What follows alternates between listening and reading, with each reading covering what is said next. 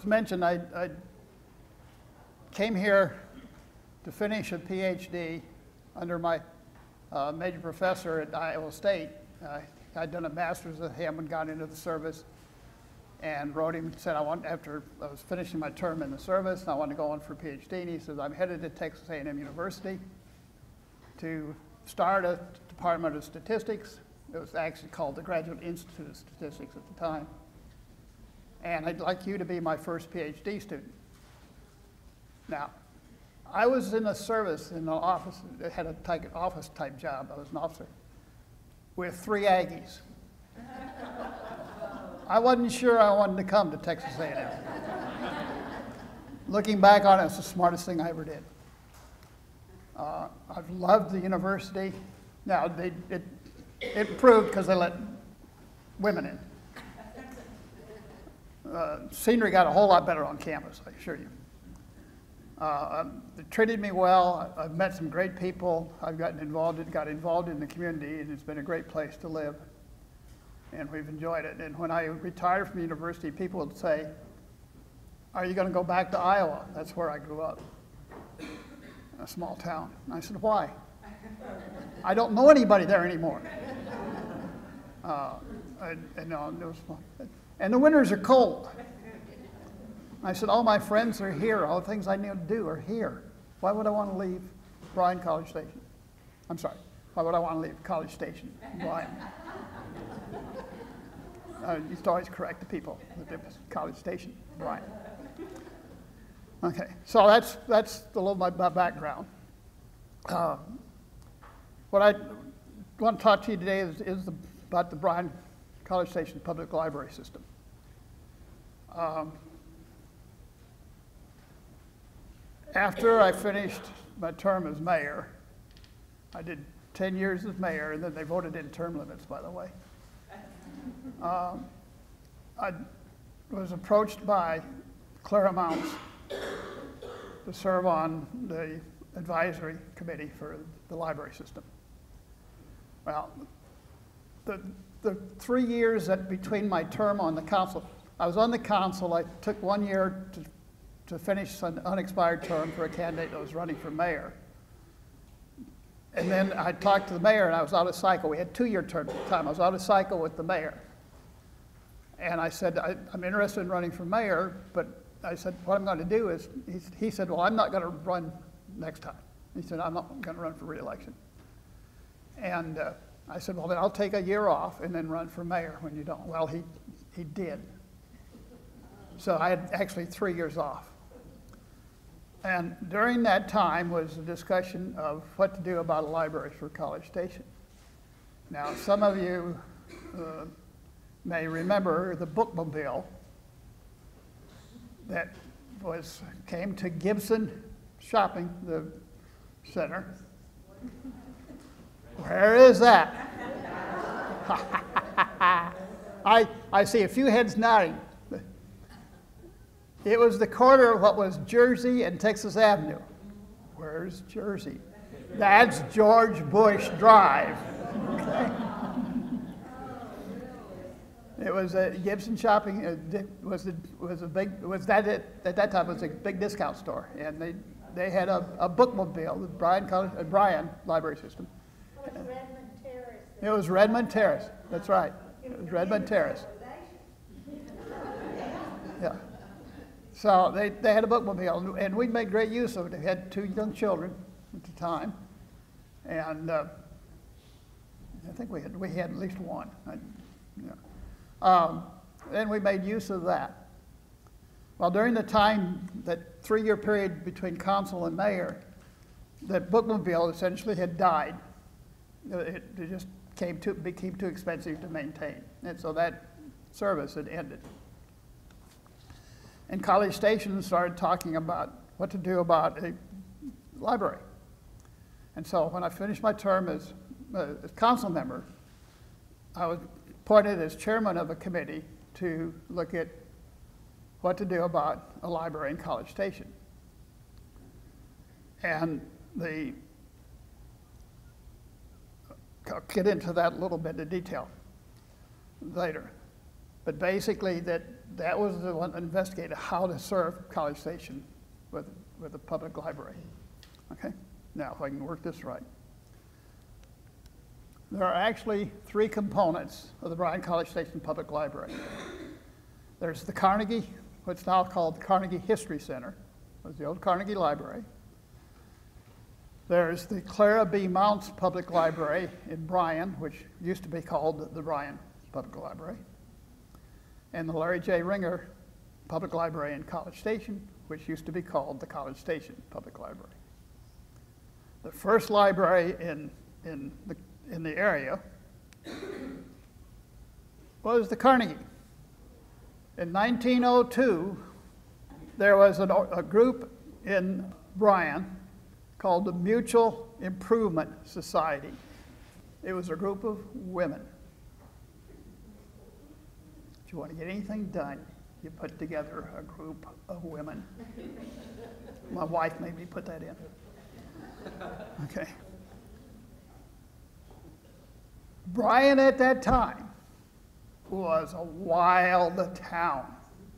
A lot of bars, almost nightly fight, gunfights sometimes even. I mean, it was wild from what I hear. I wasn't there.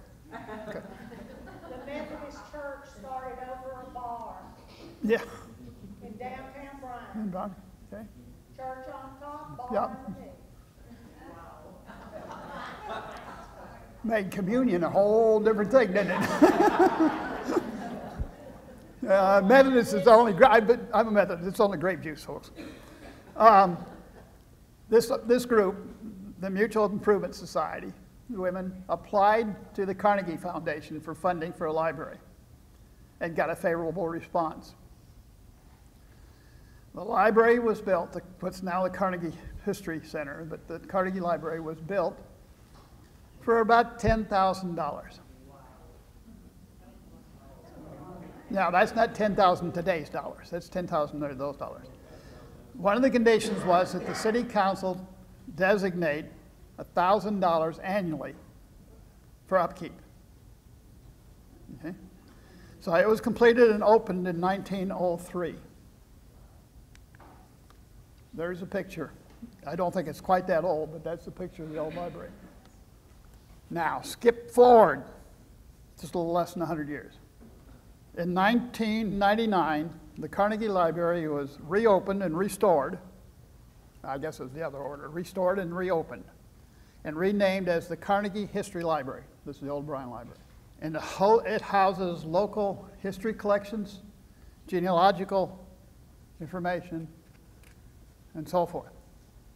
So if you're into gene- genealogy, there's a lot of resources there for you, right? There's a picture of it, but it looks like kind of today. The Bryan Public Library was built in 1969. In 2009, it was renamed for Clara Mounts, who had been the director of the public library, Bryan Public Library, and then also the library system for almost 31 years. She'd been an employee of the library for the 31 years when she retired. She was director of the library system for much of that time. She's the one that put me where I am today in terms of all my involvements with libraries, other than just a, a big user. And she was responsible for- many of the programs that are being offered by the library system today. In 1995, there was a fire. I don't remember all the details of, the, of it. It seems to me there was a homeless individual that somehow involved, but I don't remember. And so there was a major restoration work done. The library had to be closed and work done to, uh, with the, with the collection, et cetera. Okay? The Mounts Library, as you, those of you who've used it know, it's a two-story building. There are collections on both floors. Uh, Currently, I, I don't remember exactly which, which collections are everywhere, but they're children, they're separated. There are, there's a very, there's a very small meeting room, study room on the first floor. There's a large meeting room on the second floor.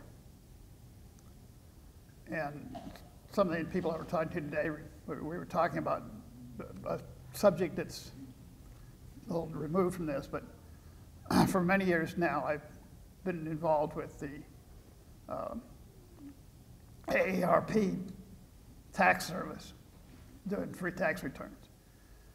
And the, the, there's one, there's one group that works at Bryan Library, the other group works at the, in College Station Library. And uh, they use that big meeting room for their, for that service. Um,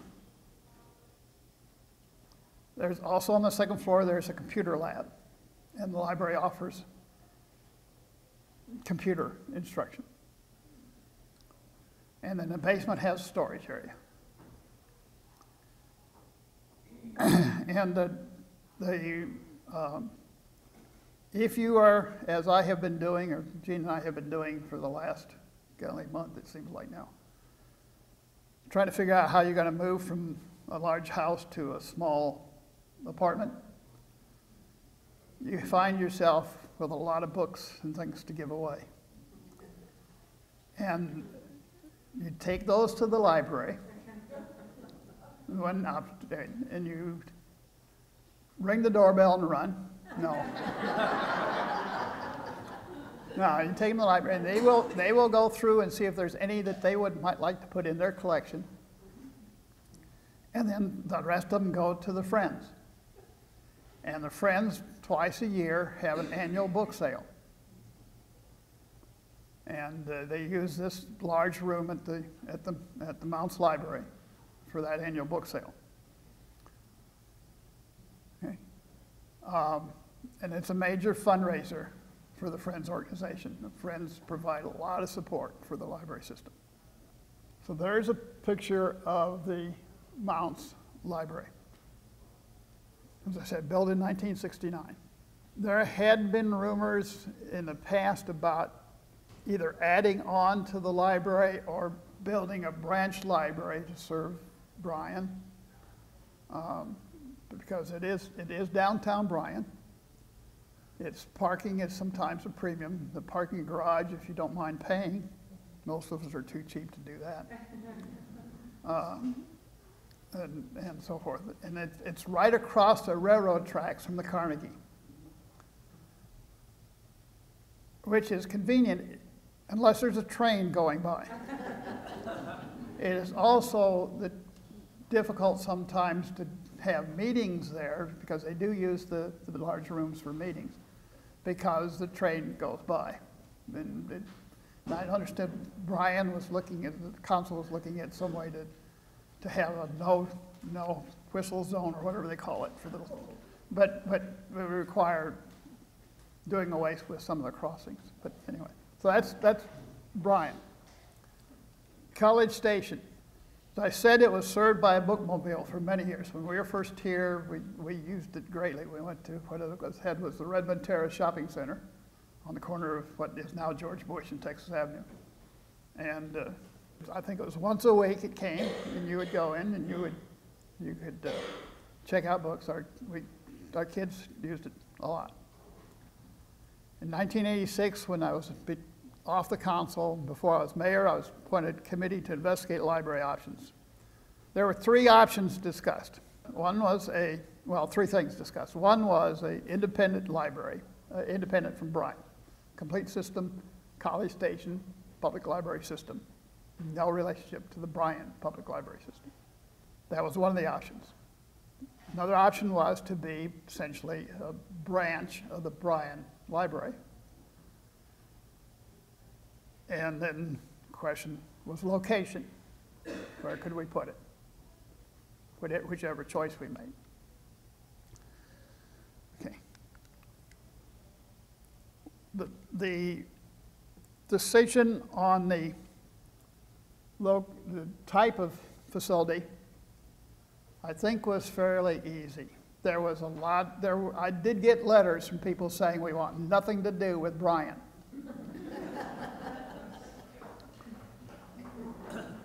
There probably were people in Bryan who said we want nothing to do with College Station too, but I didn't get those letters. But no, it basically, what they were afraid of was that I think the, the tone of the letters was that the Bryan City Council would dictate to College Station what it could do. Um, The choice of the committee was to form a Bryan College Station Public Library System. It just made sense. You have one director instead of two. You have one person basically uh, in charge of the financial things. Um, It just, it, it made it, I think, a better, a- one of the advantages, of course, is you can, if those of you may have done, a lot of you may do this. You go online now, couldn't then, but you go online now and, and find a book you want, but it's at the Bryan Library. So you say, I want to check it out, I'll pick it up at College Station. It comes over, it's due back, you can drop it at either library. Now, I say that, if you've been to the College Station Library recently, when it's closed, you can't drop it. The, the book drop is kaput right now, but it will be back in business. Okay, so as I said, it was, was a choice. The first choice, location, was a storefront property just south of Southwest Parkway. Now, my wife and, had, and I had a little argument about where it was. I think it was where Brown Shoe is now. Oh, darn you people. I don't like you now. Yeah, as usual, she was right. Okay, but it was nearer there. Catty corn, catty corn, okay. Okay. Darn, that's what she told me. And I said, no, no, you're not right. Okay. It, it opened in 1987. 3,320 square feet, 3,320 square feet of library. In October of 89, expanded to 5,070 square feet.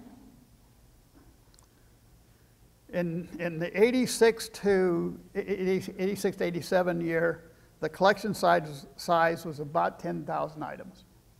Now keep in mind, you could check things out that were in the Bryan Library. They would deliver them there and you would pick them up.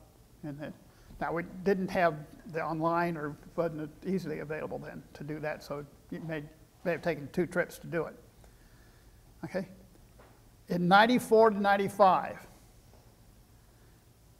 the collection size was 32,000. That was when it expanded the building size too. Circulation in 87 to 88 was around 50,000. In 94 to 95, it was 170,000. Okay? So it's obvious, I think, if you look at those numbers, that College Station needed a public library. In 1996, voters approved bonds for the construction of the library on a second election, or a second vote. How many of you remember the proposal to bury Wellborn Road, or bury the railroad tracks?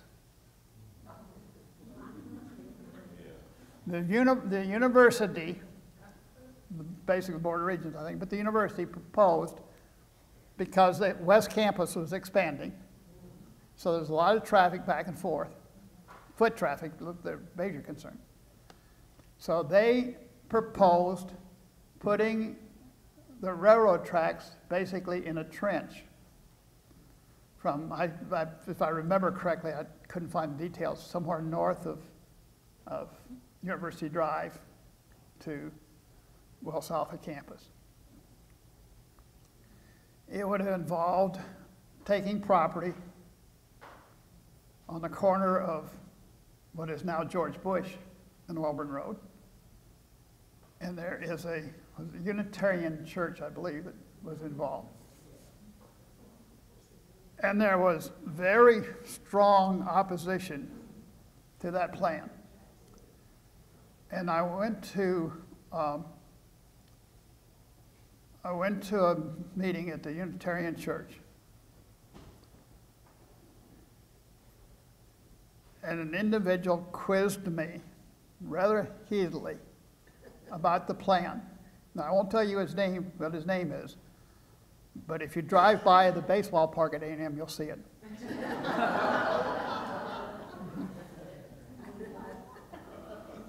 and it's not Tom Chandler. um, very opposed because the church was, they, the was going to lose their property.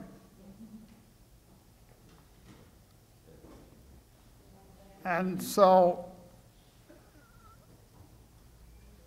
there was a vote, the bond issue vote, and two items on the bond, or at least two items on the bond issue, one of which was bonds to do this entrenching of Wellborn Road, if you want to say that. Which, if you looked at the total cost of the project, the College Station commitment was pretty minor, actually, pretty minor. And building the library. The library, the, the issue to issue bonds to build a library, public library at College Station failed by, I think it was five votes. And we attributed a lot of that to people who were so against the university plan to bury Wellborn Road and, and, and the cost that was going to make, make the city do, which was actually very minor compared to the total cost. Um, and, and the railroad was going to be buried too, as I recall. But um, that they just voted no on everything. So we went back, went back. I, by this time, I was back mayor again. Now I was off the committee. I think back. Anyway, no, '86. Yeah, I was. Uh, went, went back to do it on the next election, and it passed overwhelmingly. Okay. So '96, um, they approved. No, I just I just finished being mayor. Come to think of it now that I think of it, that's what. Uh, so in 96, they, we, on the second vote, we had approval for bond construction, for bonds to build the construction. In 97, the library opened, College Station Public Library. And in, in, in 2004, it was renamed the Larry J. Ringer Library.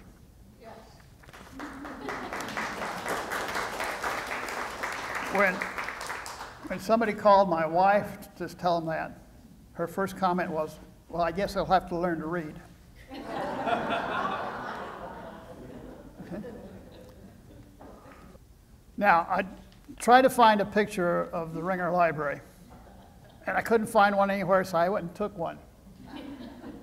this is what's happening now. Major addition is under construction. It will almost double the size of the library. The construction company doesn't like it. But one of the conditions I think the city put on was that the, that the construction be staged such that the library be closed for day or two at a time, as opposed to shutting it down for the whole summer. Now, it lengthens, of course, obviously lengthens the time that it takes to redo, or to add the addition. I apologize for the size of this, but that's the current layout. The tops are meeting rooms. The top two rooms are, are meeting rooms or study rooms. Those two rooms during the tax season are used by the AARP tax service. I'm sorry, I'm, I'm, I'm turned around. Tom to the bottom. My picture here is upside down from that one. The bottom ones. Um, that's front entrance, the staff area, and to the right is the, is the, is the, is the meeting room, et cetera. Okay? There's the addition. This is, this is, the, this is the expansion on that side. It will be state, it will be done so that there's glass on one of the walls, but the other wall is not, so that you don't get the afternoon sun. The current meeting room is a major expansion. And this area is currently staff area. This will be the new staff area. But that's, that's the expand, ba- basic idea of the expansion plan. Major expansion in the collections area, in, in the rooms, uh, space in the collection area. Um, much, much larger meeting room. Uh, the, the meeting room was such that they almost, any, for any of the summer reading programs they have for the young children, they almost had to have two sessions uh, because it just couldn't hold the demand. When is it supposed to be completed? I'm glad you asked when is it supposed to be, not when will it be. My understanding is it'll take about two years to do the construction. Yeah. This summer, the, the reading programs are taking place at a church that has offered to help with- that, give the facilities across the street, basically. And uh, some, not, now, there's one or two that won't be able to do, they won't be able to do there, they'll have to do at the library. Currently, there are reading programs for all ages. Maybe that's a slide I just went over bad. Uh, Toddlers to adults. Uh, There's meeting rooms available at both libraries. There are study rooms available at both libraries.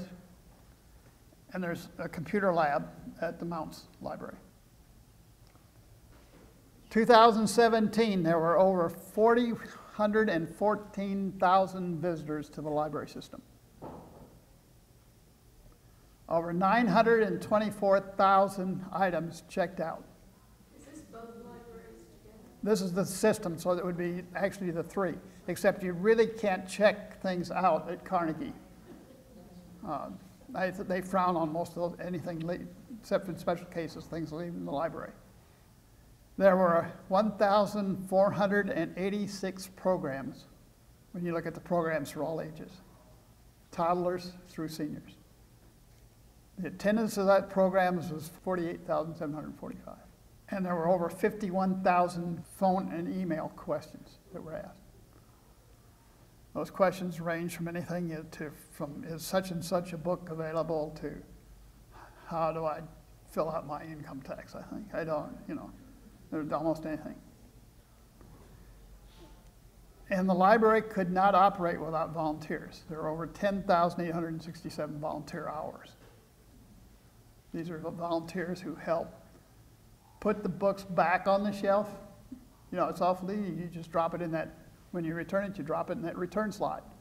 Somebody has to put it back on the shelf and, and put it in the right place.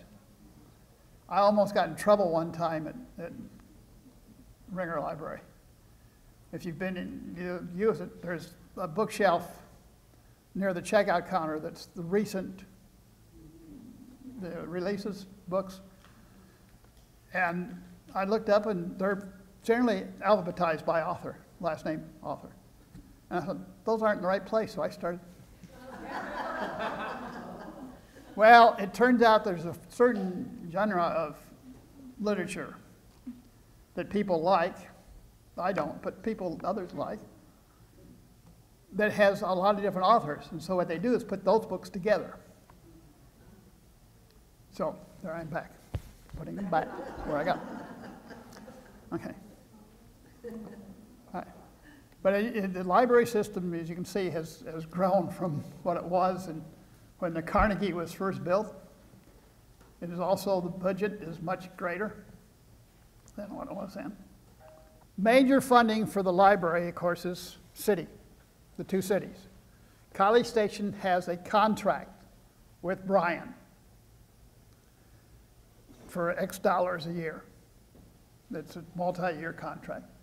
The personnel at the College Station Library are actually employees of the city of Bryan. They're not employees of College Station. College Station Library is under the, the auspices of the Department of Parks and Recreation for the city of College Station. There is a contract for, for, for Bryan to operate the library. And then, and also College Station includes money for additions to the, to the um, collection at College Station. funding for the libraries, other than funding from the two cities, of course, are grants. There's a state library uh, that has programs that give out grants for different things, gifts, etc. Okay. One of the major organizations associated with all that, there's a Friends of the Bryan College Station Public Library System. It's a long title. Their funding comes basically from book sales. There are two annual book sales. If you are a member, you get to go an hour early. Which may or may, not be an advantage because you walk in and the tables are just loaded with books. There are usually boxes of books under the table because there's no room to put them up. These are the books that either the library has called, have taken out of the collection because basically they're not being circulated anymore. Or there are books that those of us have bought and read and don't want to store them. We give them to the friends and then the friends put them on sale. And a bag of books, a grocery bag, one of those normal brown paper bags, cost, what, $10? $20. 20 we went up, didn't we? $20. Okay. And then, and then if you go Saturday late, Sunday, Sunday I'm sorry, Sunday late, the sale is on Saturday, Sunday sale. If you go Sunday afternoon, the volunteers don't want to haul those books back down to the basement. So the price, there's a cut price that gets cheaper. Of course, the collection has been pretty well picked over by then. But, uh, okay. From that, those resources, the Friends, they, the, of course, Friends also have dues. You have regular dues, individual dues, family dues, lifetime dues. Lifetime, if, you, if you're a lifetime member, your, your contribution as a lifetime membership is invested. And the income from that investment fund is returned back to the Friends to use for operating costs. The capital gains in that investment fund is reinvested.